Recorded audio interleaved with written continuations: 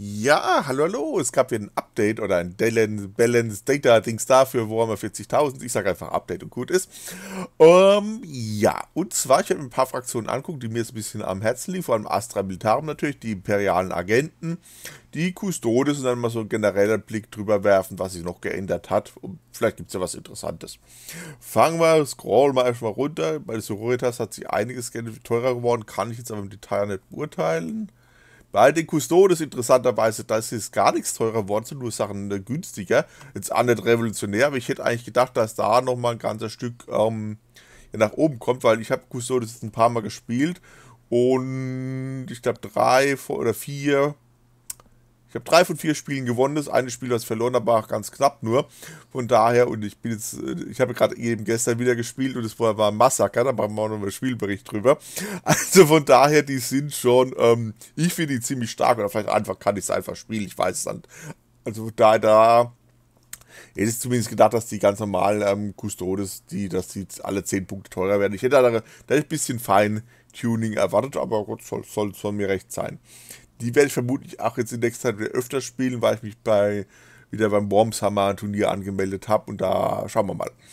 Dann Mechanikum kann ich gar nichts zu sagen. Titanen, okay.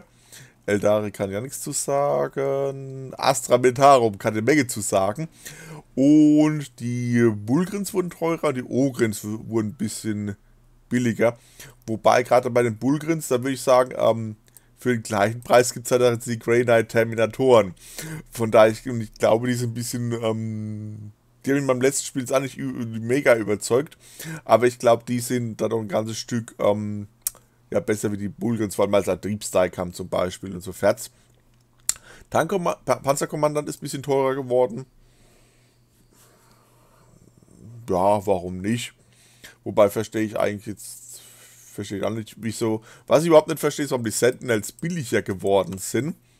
Ähm, weil die sind ja eine von den besten Einheiten überhaupt vom Astra Militarum, auch nach dem letzten Änderung zur Bone Soldier Regel, weil die sind äh, Squadron und Regiment, das heißt, auf alles, wenn sie bewegen, tödliche Treffer.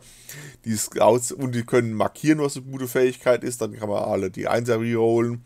Die sind jetzt, das mit indirekten Feuer sind jetzt nicht mehr ganz so stark, weil das ein bisschen genervt worden ist. Aber ich finde immer noch trotzdem eine, gute Einheit, auch flexibel von der Bewaffnung her, von Raketenwerfer bis Laserkanone, Autokanone, das volle Arsenal mit tödlichen Treffern, wie gesagt. Also, und können auch von jedem ähm, Infanteriekommander Befehle empfangen. Also brauche ich gar keinen Panzerkommandanten, um den nochmal zu buffen. die sind wirklich super, die Scout Sentinels, und da ich eher erwarte, dass die teurer werden. Ähm, interessant, ach, die, es gibt ja noch die anderen Sentinels, die gepanzerten die sind jetzt nicht billiger oder da hat sich nichts geändert. Ähm, ja, gut, keine Ahnung. Ähm, die, und die indirekten Feuerwaffen, die sind jetzt natürlich auch wieder ein bisschen billiger geworden. Das war aber, wie gesagt, die wurden ja ein bisschen genervt. Ähm, wobei die das nicht mal unbedingt betrifft.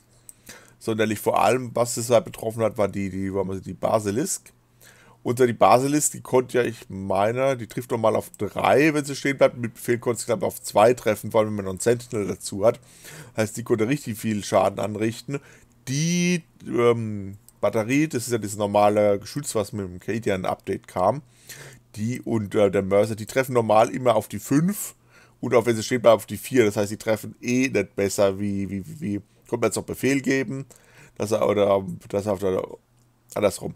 Die ballistische Fähigkeit 5 beide treffen dann auf die, die, die wenn sie sich bewe nicht bewegt haben, auf die 4, dann indirekt schießen wieder auf die 5 und mit Befehl konnten die halt dann auf die 4 wieder treffen. Ähm, aber besser konnten die eh nicht treffen. Man konnte dann markieren, dass wieder auf die, da würden sie sogar auch wieder auf die 3 treffen. Aber das ist dann schon ein bisschen viel Aufwand für, für ein paar Mörser sozusagen. Von da die war da eh nicht so betroffen von dem Update. Aber schön, dass sie ein billiger sind. Vor allem, für, für, für, vor allem was vielleicht interessant ach, wird, momentan werden eigentlich nur die Mörser gespielt, aber für 50 Punkte könnte man wieder fast die, die schweren Waffenteams vorstellen. Vor allem sowas wie, wie schwere, schwere Bolter oder sowas, die haben ja jetzt auch immer noch tödliche Treffer gegen, auch selbst wenn sie sich bewegt haben, gegen Infanterie. Ähm, das könnte eine Idee sein, sowas wieder öfter zu verwenden, vor allem, weil es billiger ist. Und wie gesagt, viel die Batterie könnte fast die Idee sein, dann die, die, die, die, die eine Variante, die indirekt schießen kann und die andere, die direkt schießen können. Vielleicht für 50 Punkte, weil es sind immer zwei Stück in dem Team, könnte man fast überlegen, auch sowas reinzunehmen. Problem ist, die sterben halt recht schnell, von daher. Ja. Hm. Forge World hat sich gar nichts geändert. Black Templar kann ich nichts zu sagen. Blood Angels auch nicht. Dämonen. Aber da gibt es nichts Weltbewegendes. Die Ritter, die sind durch die ganze Bank ein Stück billiger geworden, zwar von den großen, obwohl auch hier die, die, die, die, die kleinen auch ein bisschen. Aber das waren, glaube ich, eh nicht so die mega beliebten. Die, die Briganten, die waren super, vor allem, weil die super gut getroffen haben. Das, die, die waren früher, oder gab es Listen, wo nur die drin waren, so viel wie halt geht.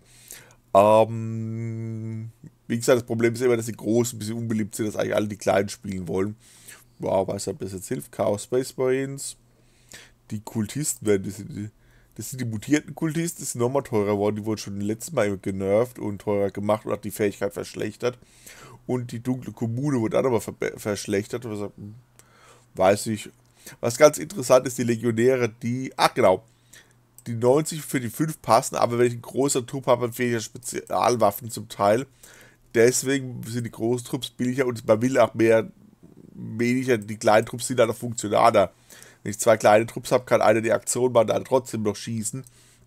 Oder in die Ecke gehen, irgendwas machen. Wenn ich einen großen Trupp habe, dann muss ich mich halt mehr entscheiden. Von daher sind die großen Trupps als ein bisschen, bei denen interessanterweise nicht, teurer wie, wie, wie, ne, billiger wie die kleinen Trupps. Dark Angels kann nichts zu sagen. Das Guard. Drukari, ganze Änderung. Da muss ich mal gucken, wie sich die Bilder als 6 Drukari-Armee bauen. Wie sich das auswirkt. Aber gut, da kann ich so sagen. Auch bei den anderen sind die, die Greynights nicht die Imperialen. Die imperialen Agenten hat sich gar nichts geändert, außer die. Das eine, das eine Execution Squad ist teurer geworden. Und das sind die mit den, mit den Knüppeln. Warum es gerade die teurer geworden sind, die sind halt recht beliebt als recht stabil Ich habe ja heute auch, ähm, ne, die Tage mal ein Video dazu gemacht, war, was da wohl beliebt sein wird. Für 100 Punkte, pff, ja, wie gesagt, kriegt man halt einen guten Trupp Space Marines, würde ich mal sagen. Ähm, haben halt dann nur die Hälfte von Modelle, aber dann halt Space Marines, würde ich sagen. Ähm, da würde ich dann zum Beispiel sagen, dann würde ich lieber, ähm, wo haben wir sie? Jetzt sehe ich es nicht. Das war Kill Team. Äh, fünf Space Marines kostet halt gleich. Die können die haben Dreier Safe normal, die können alle Schilder haben. Haben sie vier an Wundelbar Safe und entweder Schusswaffen oder Knüppel oder eine Energiewaffe. Ähm, keine Ahnung, warum man da die noch nehmen soll. Das ist ein bisschen schade, weil die sind eigentlich coole Modelle. Aber so, also zumindest in der, der, der imperialen Armee lohnt sich das dann gar nicht mehr, würde ich sagen. Ähm, wo sind sie hier? Genau, für 85 würde ich sagen, ja, für 100 ich hätte eigentlich auch hier erwartet, dass sich da bei den imperialen Agenten, dass sie ein ganzes Stück billiger werden, alle durch die Bank, zumindest als, als ähm, nur Inquisitionsarmee, weil, wie gesagt, die sind ziemlich, meiner Meinung nach ziemlich schwach. Den fehlt halt irgendwas auch gegen, gegen große Fahrzeuge oder sowas. Nur Chimären mit Hunter-Killer-Missiles sind da nicht die Lösung. Ähm, und die Grey Knights vermutlich auch nicht, von daher ähm, ich da erwarten, dass sich da was ändert, aber dem ist leider nicht so. Imperiale Ritter, ähnlich wie bei den Chaos Knights, sind die großen ein bisschen billiger geworden. Canis Rex, der war in allen möglichen Armeen jetzt recht beliebt, weil der alleine recht stark ist, ohne irgendwie Detachment Support, aber der, ja gut, anscheinend ein bisschen teurer geworden.